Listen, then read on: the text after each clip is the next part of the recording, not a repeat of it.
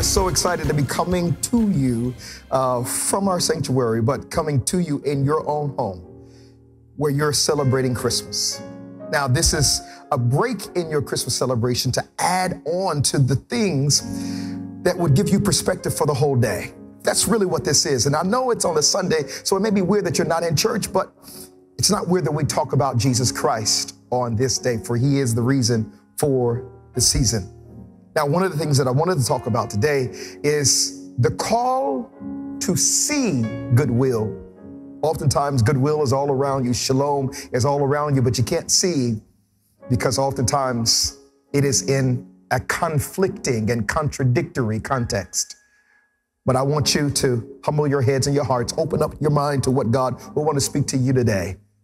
And uh, I want you to be blessed by it. Gather the family around, call somebody on the phone, let them know that there was a word coming to them. And it's not going to be long, but it's going to be strong. So you need to pay attention. Also, I will see you again on Saturday because we'll be right here in our New Year's Eve service at 10 uh, p.m. Doors are going to, well, service is going to start at 10 p.m. Doors are going to open at 9 p.m. And we're going to have a wonderful time in the Lord. So I'll see you this coming Saturday, this coming Saturday at 9 p.m. Doors are going to open. 10 p.m. service are going to start.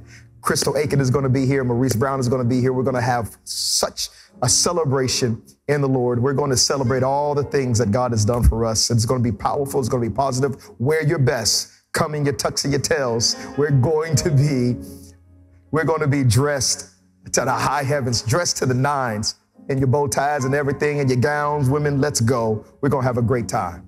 Listen, to what God wants to say to you today. It is the calling to see goodwill. Check this out. Good morning, family, and Merry Christmas to you. Wow, what a wonderful opportunity to come into your homes right now.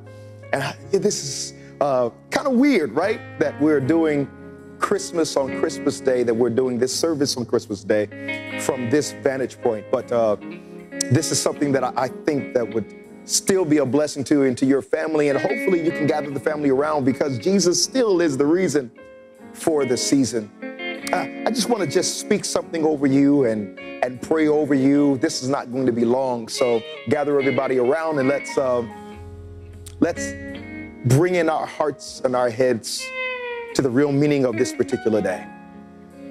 In the Bible, the book of Luke, the second chapter, verses 8 through 19, it says this. It says, in the same region, there were some shepherds staying out in the fields and keeping watch over their flock at night. And an angel of the Lord suddenly stood near them, and the glory of the Lord shone round about them, and they were terribly frightened. And so the angel said to them, Do not be afraid, for behold, I bring you good news of great joy, which will be for all the people. For today in the city of David, there has been born for you a Savior who is Christ the Lord. And this will be a sign for you. You will find a baby wrapped in clothes and lying in a manger. And suddenly there appeared with the angel a multitude of the heavenly army of angels, praising God and saying, Glory to God in the highest, and on earth peace among people with whom he is pleased. Verse 15, and when the angels had departed from them into the heaven, the shepherds began saying to one another, Let's go straight to Bethlehem then and see this thing that has happened, which the Lord has made known to us. And they came in a hurry and found their way, significant, they found their way to Mary and Joseph and the baby as he lay in the manger. And when they had seen him, they made known to the state, made known the statement which had been told them about this child. And all who heard it were amazed about the things which were told them by the shepherds. But Mary treasured all these things, pondering them in her heart. And the shepherds went back glorifying and praising God for all that they had heard and seen, just as had been told them. Now, this is a wonderful time of the year The winter solstice or the December solstice is the point in which the path of the sun in the sky is farthest south. At the winter solstice, the sun travels the shortest path through the sky, resulting in the day of the year with the least sunlight and therefore the longest night. In the lead up to the winter solstice, the days become shorter and shorter. And then on the evening of the solstice, according to NASA, winter begins. In the northern hemisphere, it occurs annually on the 21st or 22nd of December. So here we are in a season of cold and darkness, but we gather together to celebrate the light. The season brings with it an obvious contradiction. For in the greatest season of darkness, we are reminded of the light of the world. This is very interesting because as we're looking into our text, we see that the shepherds were watching their flocks at night, watching over them, making sure that they were protected, making sure that they were covered at night. Now, these shepherds would do this masterfully and they would do it faithfully every night. But this night would be a very strange and significant night for them. For while they were on their watch, the angel of the Lord would come. And the angel of the Lord would speak to them. And, and in this instance, they would be called from their post of watching to a posture of finding. Because on this day of Christmas, it's not just about watching the gifts and watching everyone be happy and watching all of the things that's happening in the world. Really, it's about finding Christ in the midst of what you're called to watch. So, this is what the angel of the Lord said to the shepherds. He said, Do not be afraid, for behold, I bring you good news of great joy, which will be for all the people. For today, in the city of David, there has been born for you a Savior who is Christ the Lord. And this will be a sign for you. You will find a baby, the Messiah, the King of Kings, the Lord of Lords, wrapped in cloths and lying in a manger.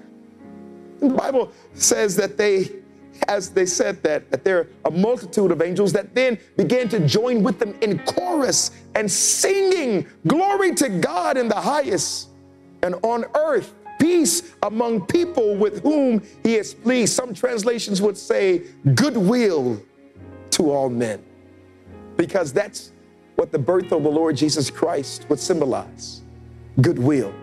See, they are called to look for a divine contradiction. They're called from watching the shepherds or watching the sheep at night to finding a divine contradiction. A divine contradiction in which the Lord of Lords would be birthed in a lowly place. Oh, God. Because the birth of Jesus Christ on the day that we celebrate Christmas is really a contradiction when you think about it. Uh, Augustine of Hippo says it like this He says, He by whom all things were made was made one of all things. The Son of God by the Father without a mother became the Son of Man by a mother without a father.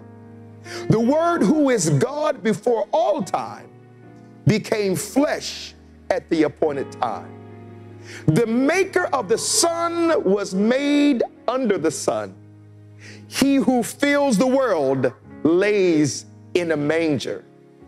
Great in the form of God, but tiny in the form of a servant. This was in such a way that neither was his greatness diminished by his tininess, nor was his tininess overcome by his greatness. See, the whole narrative of Christ being born was one big contradiction. How can something that starts so small be so great? How can something born in a manger be so wealthy? Contradictions then are a part of the believer's life. And I'm quite sure that within the context of your life right now, you will see many contradictions. How can you be doing so well when we are in a recession? How can you still be blessed as you are when the whole year there have been some tough times? How can the family still come together and laugh when there have been times in which you have gathered together and even sometimes been separated, separated and cried? Life is filled with contradictions. How can I have joy in my heart and still have grief in my heart as well? Life is filled with those kinds of contradictions. But these shepherds, they are called to seek goodwill and live it.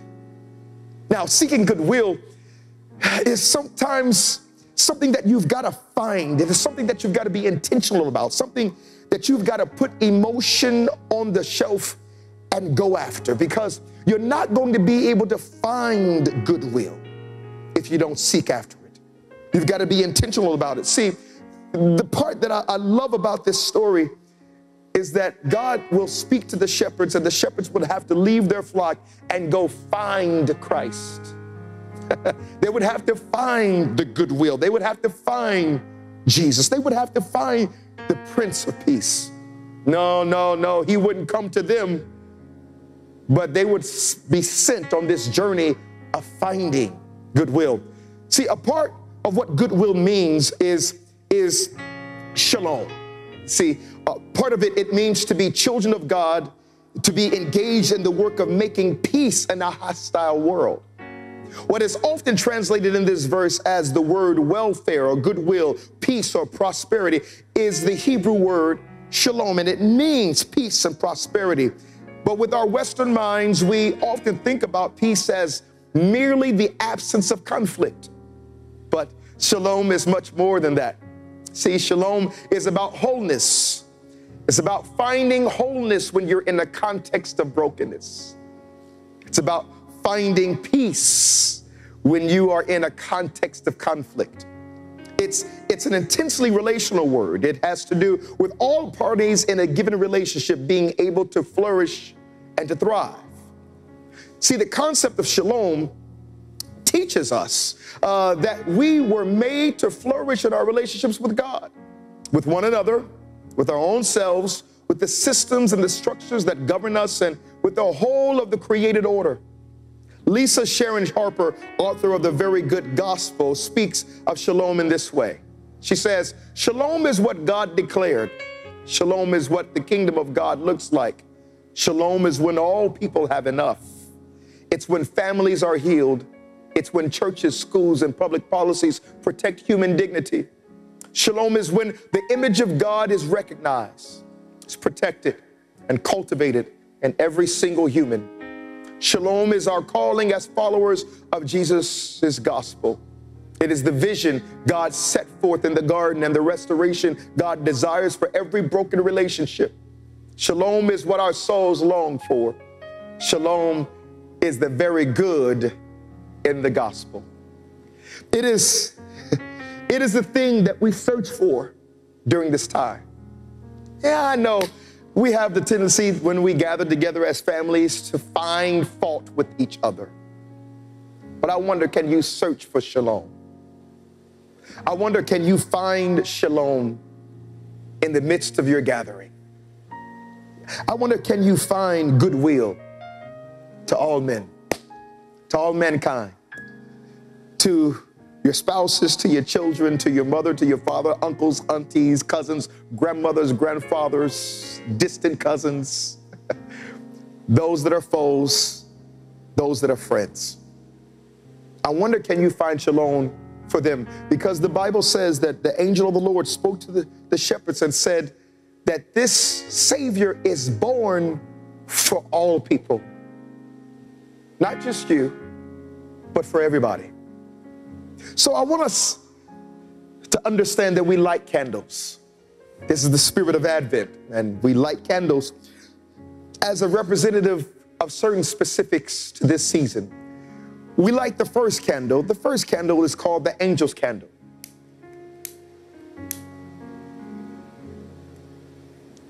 And the angel's candle symbolizes peace. It reminds us of the message of the angels peace on earth, goodwill toward men. We are reminded that we seek the welfare of all people. To make it more practical, we can make sure people are faring well. Call somebody that you haven't called. Check on a friend. Check on a loved one. Maybe somebody has been dealing with, and you know that they maybe around this time is dealing with grief. Call on them, check on them. This is the peace of God as our minds are stayed on Him.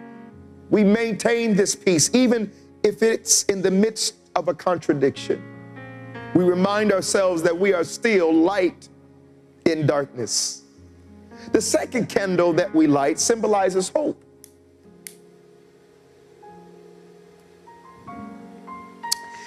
And it is sometimes called the prophecy candle. Now, in remembrance of the prophets, especially Isaiah, who foretold the birth of Christ, but it is type and shadow of the fact that before Jesus ever became a living flesh, he was a prophetic thought. And that everything that happens in your life starts with a prophetic thought. It started in the mind of God. So your hope should always be high and lit up during this time because it represents the expectation that is felt in the anticipation of the coming Messiah. And there is something coming that's great for your life. So you should celebrate and your hope should be high. The third candle that we light represents faith.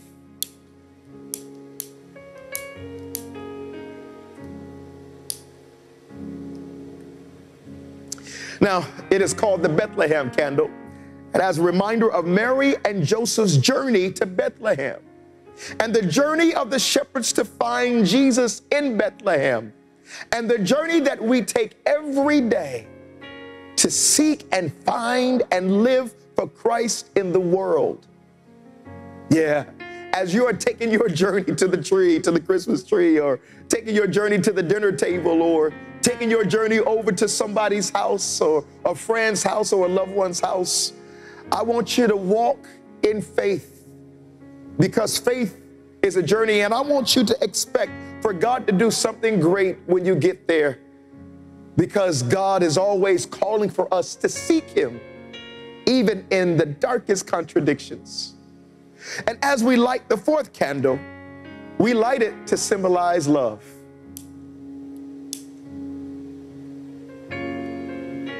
Yeah.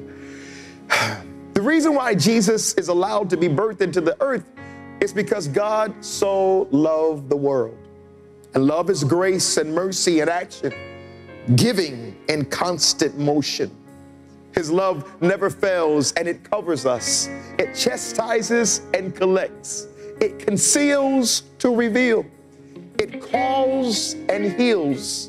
It develops and delivers. Love never fails. It is a constant light in the contradiction of darkness. And as we light the fifth candle, the fifth candle is type in shadow.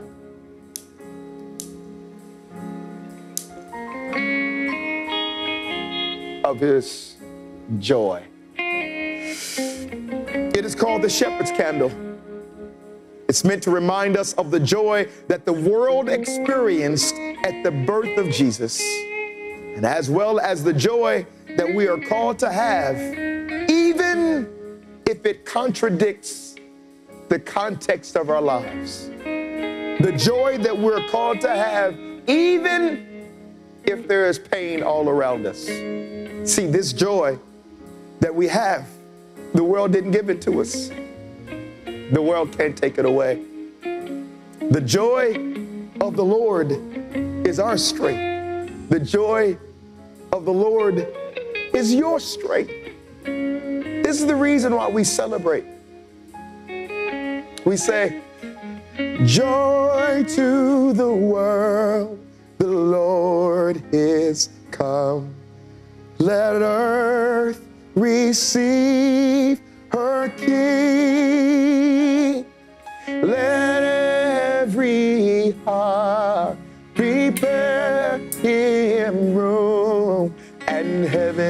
and nature sing.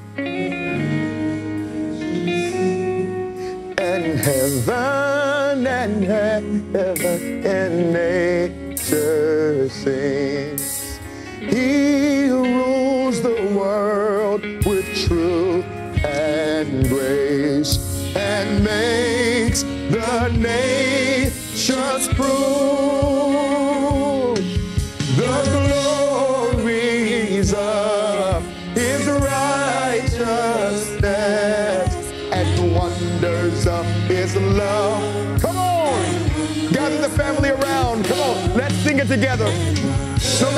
feeling, come on, contradict that feeling and let's have some joy. Come right now into where you are. Come on, this is your clarion call to cheer up. Jesus Christ is born. Let's go. Woo!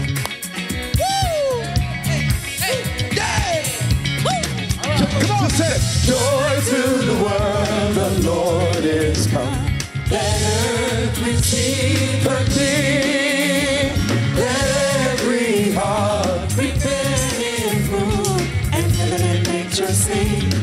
Heaven and nature sing. And heaven and heaven and nature joy to sing. Joy to the world, the Savior reigns. Let all The song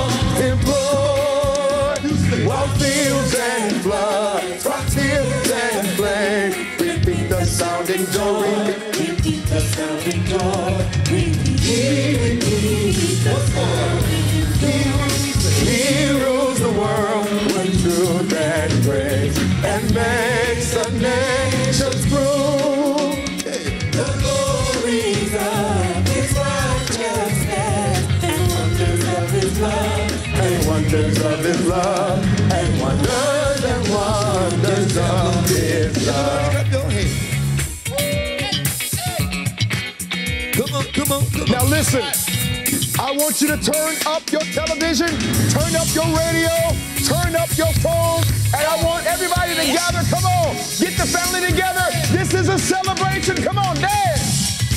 Joy is here. Joy is here. Say that. Joy is here. Joy is here. Come on, come on, come on, come on, come on. Joy is here. Joy is here. Joy is here. Joy is here. Joy is here. Joy is here. Joy is it. Joy is it. Joy is here. Joy is here. Everybody got joy. Joy is. Everybody got Joy joy. is The world can't Joy take is it. The world can't Joy take it. is here. God gave it to me. Joy is here. God gave it to me. Joy is here. Joy is here. Joy is here. Joy is here. Joy is here. Joy. Is here. Joy is here. so glad. Joy is here. I'm so glad.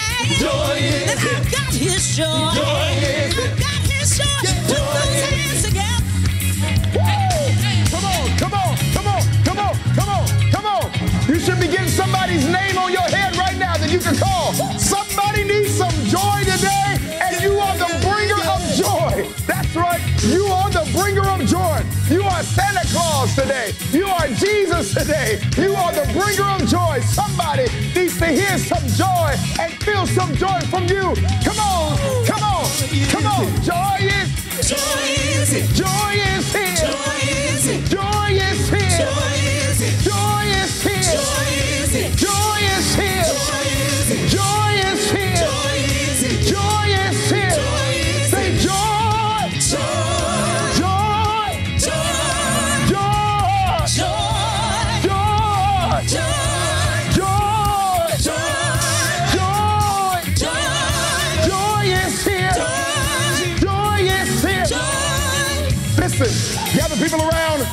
Pray. We're going to leave you to it. I know it's some good food there waiting on you. If you haven't already opened up gifts, I know gifts are waiting on you. I want to pray for you. Father, in the name of Jesus, I pray for my brother. I pray for my sister. I pray that this would be a day that their hearts and their minds will be filled with joy. I pray, oh God, that in the midst of everything that we may be going through, that all the contradictions of our lives, oh God, we thank you, Father, that the birth of Christ still reminds us that there is light even in the midst of darkness, that there is joy in the midst of sorrow, that there is peace in the midst of chaos. We thank you, Father, that your Son being birthed reminds us that there is still hope for a dying world. And we ask right now that the joy the, you give to us, the joy that the Holy Spirit imparts, would be imparted into our hearts, and into our minds, oh God, that you would do something miraculous for all people who will hear this, who will see this, in the name of Jesus. Now bless your people like never before, like only you can, all day, every day, and in this season. Thank you for joy.